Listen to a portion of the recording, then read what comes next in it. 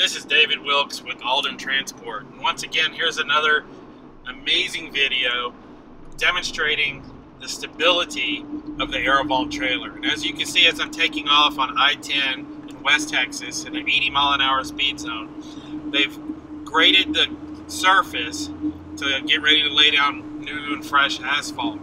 This asphalt has a step of anywhere from two to three inches and we all know that when making a lane change from one lane to another, that abrupt change always upsets both the towing vehicle and the vehicle being towed. Well, this demonstration shares with you how incredibly stable the Aerovault is in making these lane changes.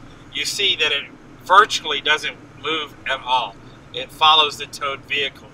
That inherent stability also gives the towing vehicle better stability because the trailer's not upsetting the back of my truck, which is a 4x4 Ram 2500.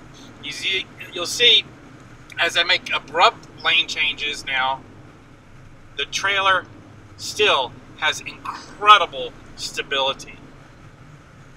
This is also in part to the Dexter axles. Premium Dexter axles are independent torsion movement so that each wheel is moving independent of itself. This allows the wheels on each axle to make adjustments within their range of travel as it's going from the fresh asphalt to the graded surface. The stability of the aerodynamics are helping by keeping the trailer perfectly straight.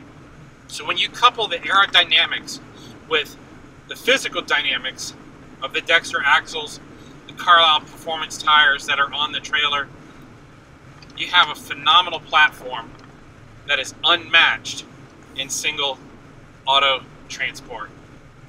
It's just unmatched. And that gives you peace of mind. That's the Aerovault advantage. Thank you.